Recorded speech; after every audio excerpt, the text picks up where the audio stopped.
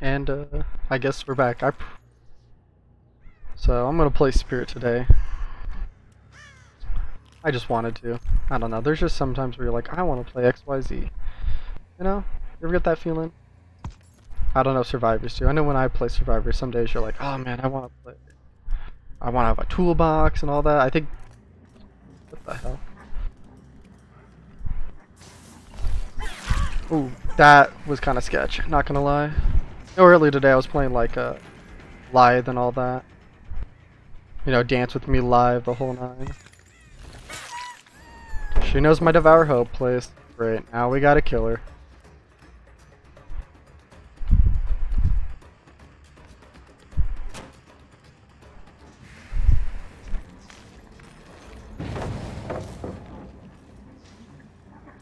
She just ran.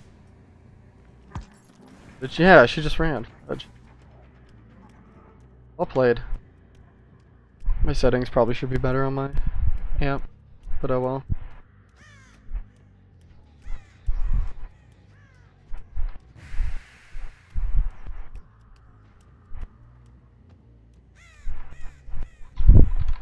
Yeah, I was gonna say someone's around here.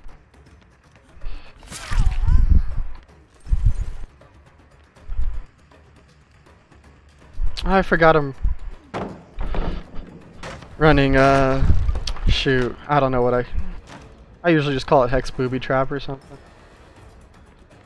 Because I can't remember what it's called. She's gonna do that, yeah. No, sorry fam.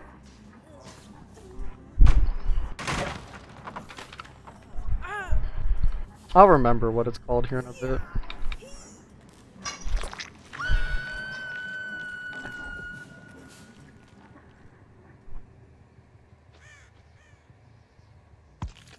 I don't know. I gotta give props to like anyone that can do comp live commentary while playing, especially live stream. I'm just not good at it.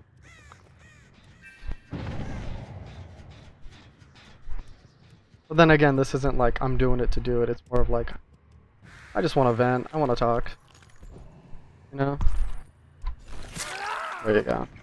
Like I also want to show proof that I'm like I'm good at something. I'm good at a game. I shouldn't have vaulted that. So bad. That's fine. It's gonna go up. Got him. They're still down there. That's fine. You can hear them. I'm gonna hook him back in the center. Pick the gen. You know, Probably get some more commentaries on more casual game. I don't know.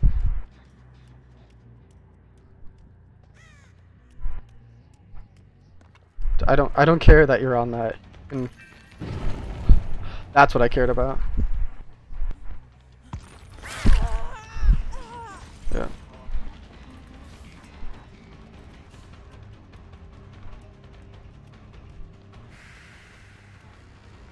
I don't know.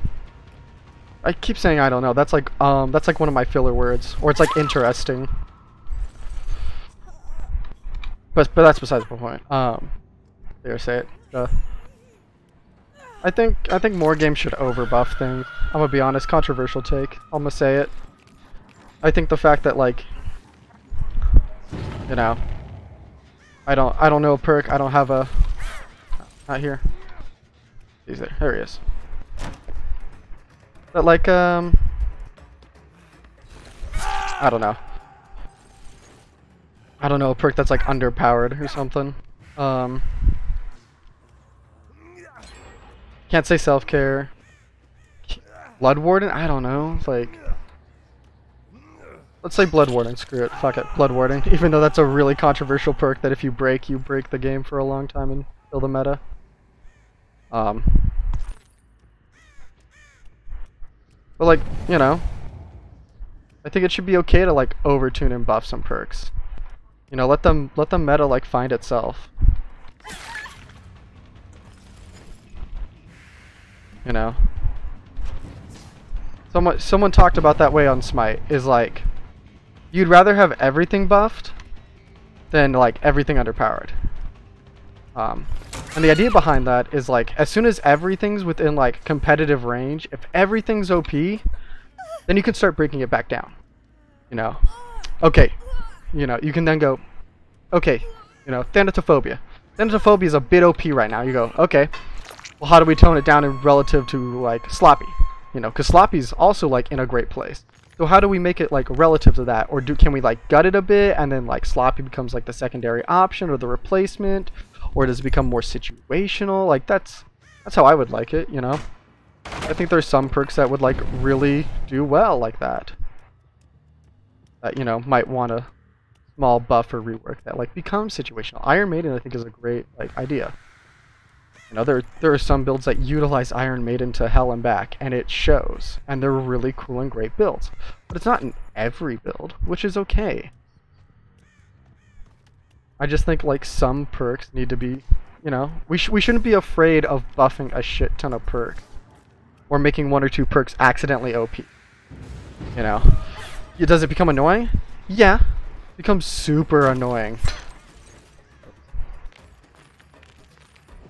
But the idea is how do you know what's... You know, you don't know what's good until you, you know, try it. Okay, this Feng Min's dead.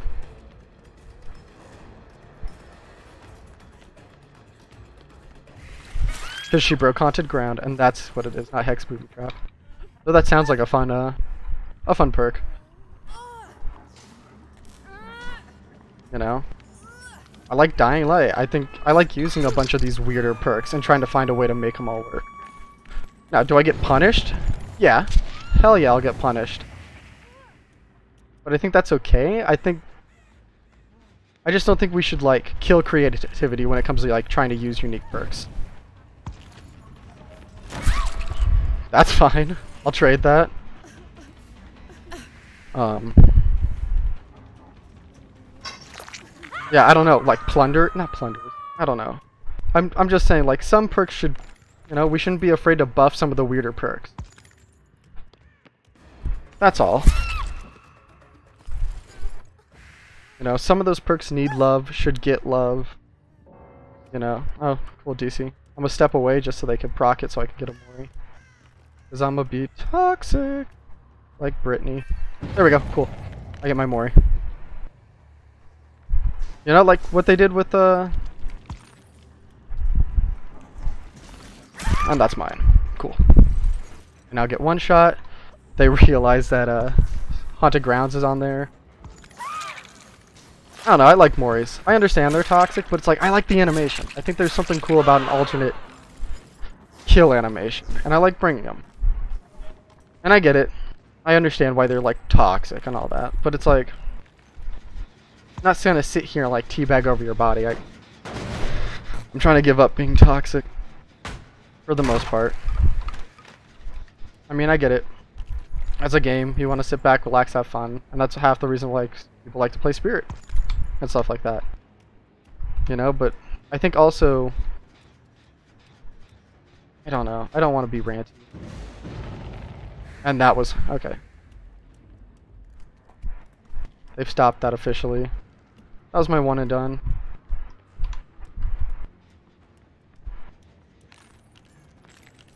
cool.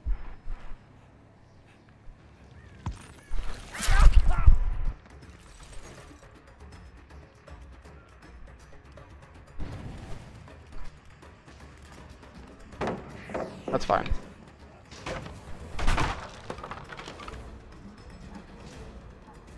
Um, no, but I had a rant a while ago that I never uploaded. But it was similar to, I think, what Otz had, uh, I think today on the 27th? Or was it a few days ago? I don't know. But the idea is like the only way to stop this toxicity is to like we need to stop being toxic ourselves. You know, so like you don't like spirit being played or you don't like you know, the, these really like hard to play counter killers like don't be such a jerk. You know, and that goes for the killers too. Like neither side is innocent obviously. It's it's a pretty toxic game on all sides. Um but I think we also need to understand, like, as a community, that, like, Moris are fun for some people. And that's okay. And sometimes insta toolboxes and gen rushing are fun for others. We just need to not... how do you say? Be so in your face when it comes about winning. Or certain things. Eh, GG, that's fine. Glad someone had to quit. You know, because that's what, that's what fuels the cycle. I, I I like to think. Know, this whole cycle of like